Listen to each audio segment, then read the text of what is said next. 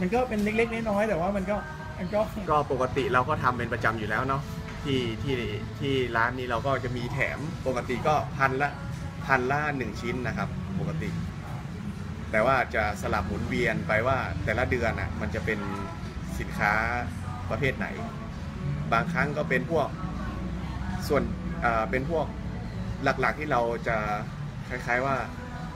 นำมาเสนอเนี่ยไอ้ยนำนำมานำมาแถมให้ลูกค้าเนี่ยก็เป็นพวกสินค้าอุปโภคบริโภค อย่างเช่นพวกผงซักฟอกก็เคยละ พวกน้ำเปล่า พวกออย่างออย่างเช่นในผ้าเช็ดรถอะไรเงี้ยครับ แล้วก็ อผ่านมาเรื่อยๆ มันก็เริ่มสินค้าเราก็เริ่มแบบซ้ำๆกัน แล้วก็ เอ๊ะหน้านี้หน้าร้อนด้วยเราก็คิดไม่ออกว่าจะทำอะไรก็เราก็ประชุมกันแล้วก็ตัดสินใจว่าเอ๊ะหรือว่าเราลองเอาน้ำปลาแถม เพราะว่าช่วงนี้มันก็หน้าร้อนด้วยเนาะแล้วก็อีกอย่างว่าคนคนปกติก็บริโภคอยู่แล้ว ใช้ใช้น้ำปลาตัวนี้ใช้น้ำปลาอยู่แล้วในชีวิตประจำวันก็เลย ก็เลย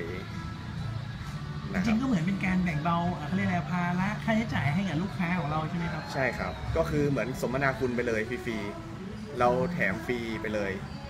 ตั้งแต่ทำมาได้ประมาณปีกว่า อย่างเดือนที่แล้วผมก็ทำเป็นน้ำดื่ม แต่ว่าเป็นสกรีนชื่อของร้าน ก็เลยแถมไปเลย 1,000 บาท ซื้อครบ 1,000 บาทแถมฟรี 1 ชิ้นนะครับ แล้วอย่างไอ้โปรโมชั่นตัวน้ำปลานี่เป็นยังไงบ้างครับผลตอบรับเท่าที่ทำมา เท่าที่ทำมาก็ ก็มีคนตอบรับดีแล้วก็ส่วนใหญ่ก็เหมือนเรา เราสร้างสร้างอารมณ์ร่วมในการซื้อขายกับลูกค้าเฉยบางทีลูกค้าก็ตลกไปอะไรเงี้ยครับ ก็มีความสุขไปแค่นั้นเอง ที่จริงมูลค่ามันก็ไม่ได้เยอะมาก แต่ว่าเราเลูกค้าแต่ละคนก็ส่วนใหญ่แถมเนาะก็พอใจอยู่ล้วครับพอใจในการที่เรามีของแถมมีอะไรให้เล็กๆน้อยๆ